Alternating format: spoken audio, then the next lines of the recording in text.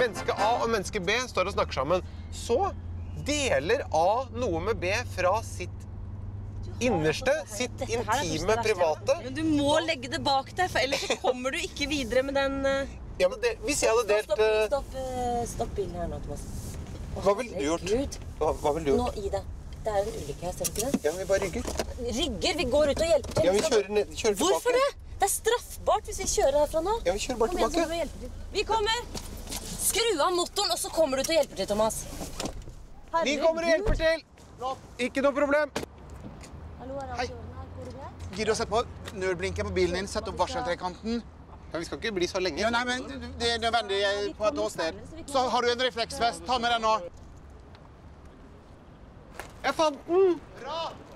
Nå bare konsentrerer vi oss om arbeidsoppgavene her. Ambulansen er på vei. Følger vi prosedyrene, så kommer dette til å gå kjempebra. Hei, hei, hei. Du fikk arbeidsoppgave i stad. Ja. Du skal stå her nede og passe på trafikken.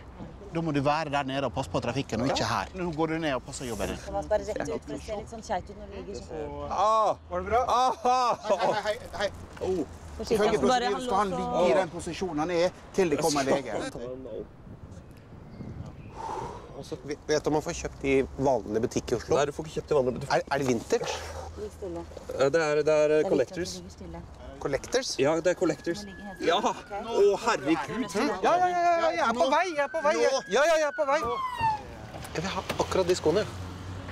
De skoene hadde vært helt perfekte for må meg. du holde på det. Gi deg med det. Joggesko, tursko, pensko nesten. Ikke pensko, men nesten. Hvilken, hvilken størrelse er du her? Hvilken størrelse er du her? Det er 43, ja? Vi må, vi må dra. Vi, Hvilket sykehus er det han skal på? til Ullevål. Ullevål? Ja. Thomas.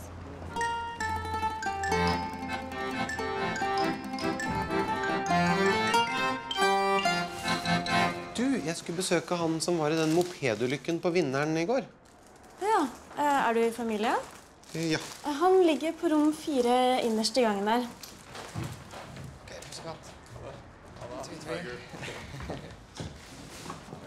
Ha det bra.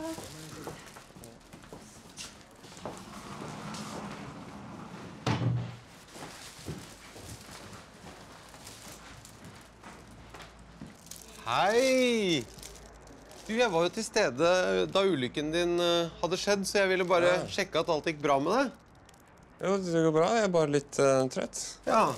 Du, jeg tok med en, uh, en blomsterbukett, jeg. Hvor er det du har de uh, litt større bukettene? Der. Ja, Vi kom jo akkurat uh, rett etter at eh, ulykken hadde skjedd, vi, vet du, og det var jo litt av en redningsaksjon vi satte i gang der. Ja, jo, takk skal du ha. Så det var veldig, veldig takknemlig. Så Du, jeg bare lurte på de skoene. Ja. Ja, ja de, ja. Skoene mine. Ja. Kunne du være interessert i å, å selge dem?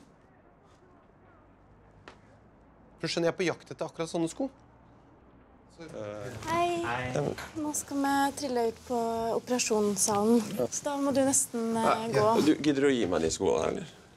Ta dem. Ja. ja. Takk. Han virker litt groggy nå. Kan ikke du bare Her er eh, telefonnummeret i tilfelle han har glemt det. Så står nummer og, og sånn, så bare ringe meg hvis Ja. han er interessert angående skoene. Det er grei. Det er jeg som hadde med den store buketten der. Ja.